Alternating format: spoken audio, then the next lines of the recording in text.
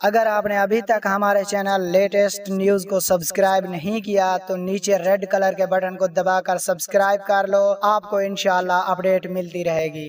बिस्मिल्लाहिर्रहमानिर्रहीम। अस्सलाम वालेकुम वरहमतुल्लाहि वबरकातुहू। भारतीय air chief B S Dhanoa ने कहा है कि बालाकोट में टेक्नोलॉजी ने भारत का साथ दिया और भारत ने अच्छे अंदाज में पाकिस्तान के इलाके बालाकोट में हमला किया। अगर भारत के पास राइफल तैयार होते तो भारत मजीद अच्छे अंदाज में बालाकोट में निशाना बना सकता था। इन्होंने कहा है कि टेक्नोलॉजी भारत के साथ है। भारतीय एयर चीफ के इस जवाब पर DGI, ISPR major general Asif Ghafoor ने भारत को करारा जवाब देते हुए अपने ट्विटर पैगाम में लिखा है, छब्बीस फरवरी को पाकिस्तान फिजाया ने लाइन ऑफ़ कंट्रोल पर भारतीय फिजाया के हमले को रोका। इसके बाद सतावी फरवरी को पाकिस्तानी फिजाइया ने अपनी फिजा में रहते हुए लाइन ऑफ़ कंट्रोल के पार छह हमले किए। पाकिस्तानी फिजाइया ने भारत के दो तैयारे मार गिराए, जिनका मलबा पूरी दुनिया ने देखा।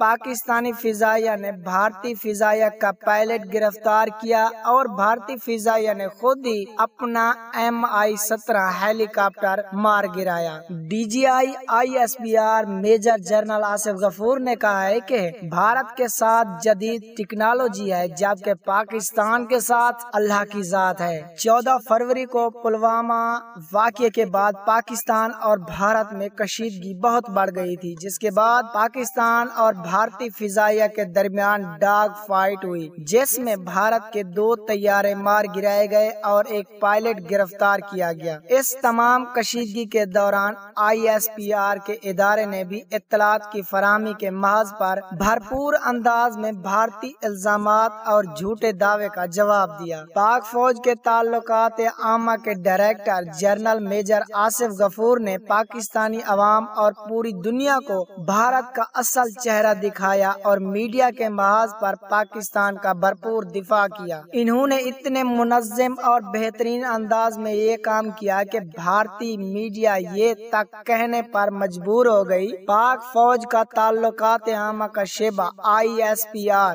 Bharat के लिए पाकिस्तान की सबसे बड़ी खुफिया एजेंसी आईएसआई से भी ज़्यादा खतरनाक साबित हुआ है। भारतीय फिजाया और फौज के अफसरान मीडिया को जवाब देने और हकायक सामने लाने में बिल्कुल नाकाम हो गए। जिसके बाद भारतीय सरकार ने भी फैसला किया, भारतीय फौज में आईएसपीआर की तर्ज का एक इदारा बनाया जाएगा, जो आईएसपीआर का मुकाबला कर सके। लेकिन भारत जो भी कर ले, पाक फौज का अजम बुलंद है और इसका यकीन है कि पाकिस्तानी अफवाद के साथ अल्लाह की जात और इसकी नुसरत मौजूद है। चाहे भारत के पास जदीद से जदीद टेक्नोलॉजी क्यों ना हो? तो नाजरीन, आपका इस बारे में क्या ख्याल है? नीचे कमेंट बॉक्स में अपनी कीमती राय का इजहार ज़रूर करें। अल्लाह हाफिज।